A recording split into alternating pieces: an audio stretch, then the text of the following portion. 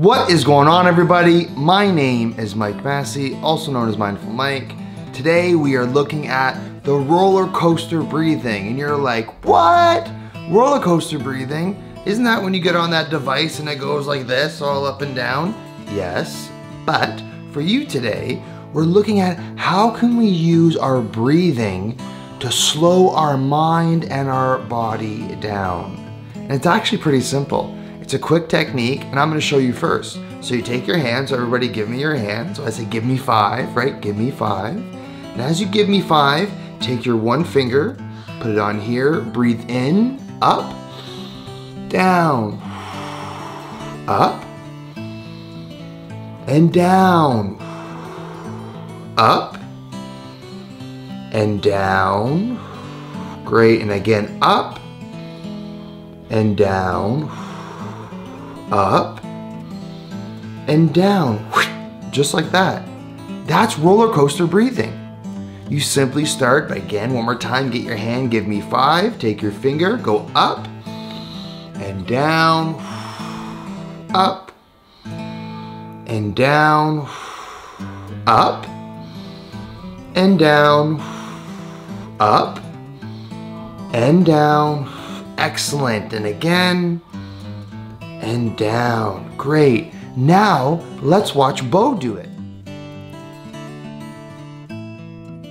Now it's your turn to try. Get ready in three, two, one.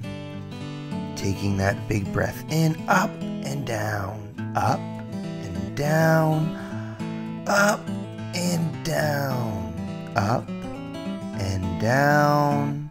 Last one, up and down. Good job. One more time. Remember to start at your thumb. Breathing in and time to go up and down, up and down, up and down, up and down, up and down. Amazing. Thank you, Bo, for your help. So now, let's remember the next time that maybe you're worried or you're frustrated or you're nervous about something, give yourself five. Take that five, go up and then down, up and then down, up and then down, up and then down, and last one, up and down. Now, maybe you don't want other people knowing that you're doing your roller coaster breathing. Well, in your mind, you can imagine this right? So in your mind, maybe you're mad or you're frustrated or you're worried or you're upset. You do not have to go like this and let everybody know that you're doing it. We can think about our roller coaster breathing. So let's say that I'm really mad or angry and I'm really frustrated, okay? And I'm upset about something. I can now think about the last time I did my roller coaster breathing. And as you can see, I'm just thinking about it. I'm thinking about it. There's the one. There's the two. There's the three.